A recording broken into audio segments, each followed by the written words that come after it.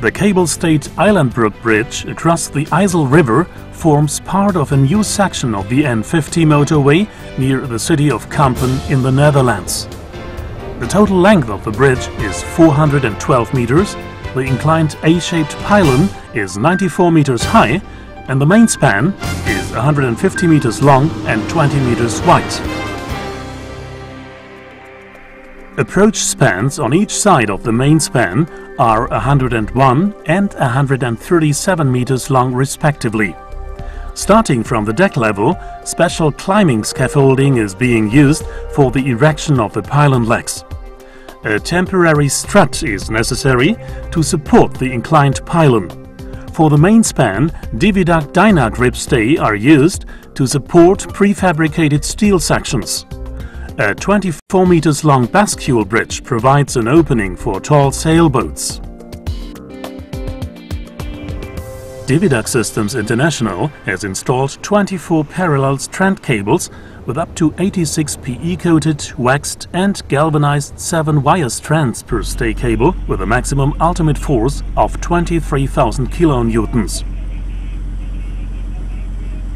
The lengths of the stay cables vary from a minimum of 68 meters to a maximum of 163 meters.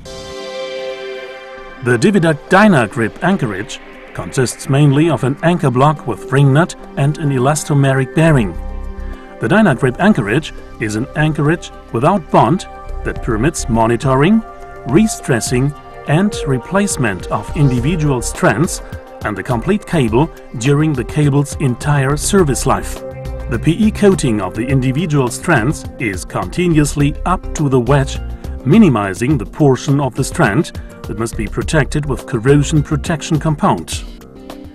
The anchorage is designed and tested according to the most current PTI recommendations. The outer sheathing consists of black high-density polyethylene tubes. For each pair of stay cables, several tube sections are welded together on the bridge deck using mobile butt welding equipment.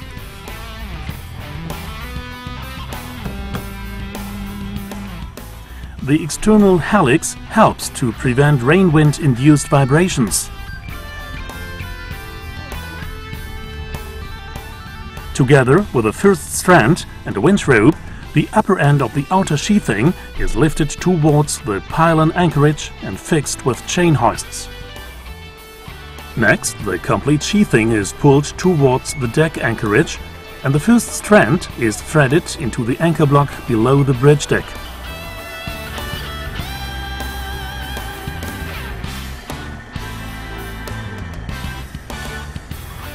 From a working platform below the deck, the first strand is stressed. This action also straightens the sheathing. Subsequently, the remaining strands are installed one by one and immediately stressed.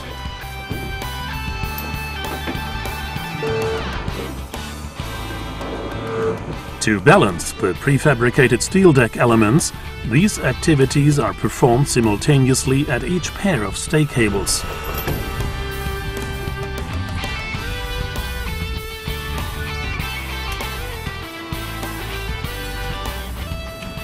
Prior to strand installation, the PE coating is removed from the individual strands and the outer wires are cut with a grinder using a special attachment device. This allows the king wire of the strand to be connected to an installation assisting gliding device and to the pulling rope.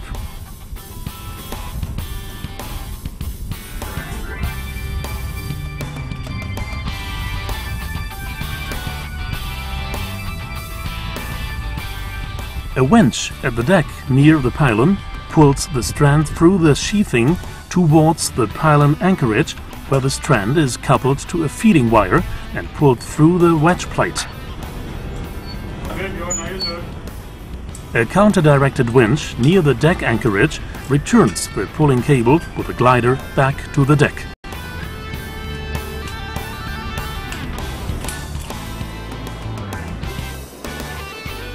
The installation sequence of the strands is pre-planned and illustrated on a sketch, indicating the appropriate strand pattern.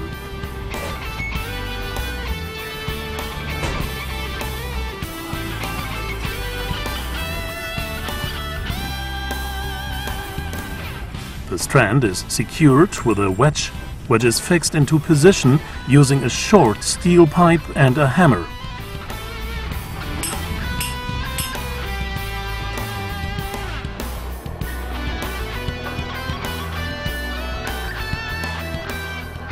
Next, the lower part of the strand is inserted into the deck anchorage.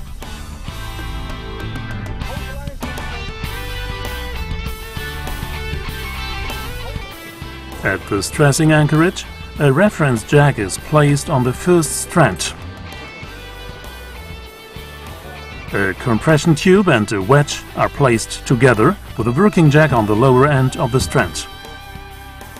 The PE coating of the strand is blocked at the compression tube and compressed during stressing. In the first step, a specific hydraulic pressure is applied. The strand projection is then measured and documented. In the second step, the pressure is increased until the force in the working strand and the first strand are the same.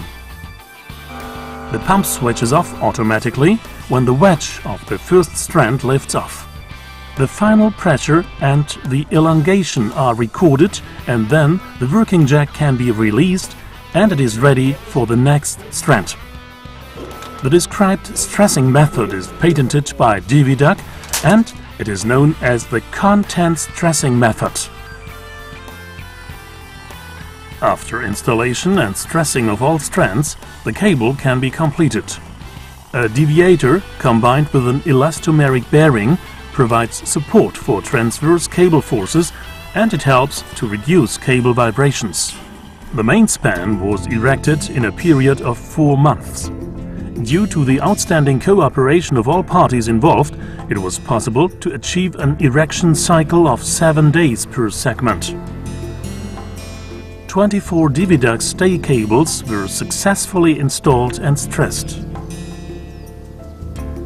Due to the high quality of the DYNA Grip anchorage, minimum maintenance activities are required and long-term durability is assured. The Eilandbrug Bridge was opened in January 2003. Thanks to proper planning of this project and effective collaboration during erection of the bridge between all parties involved in design and execution, the Eilandbrug was completed on schedule. The city of Kampen got a new beautiful landmark that improves the local traffic flow.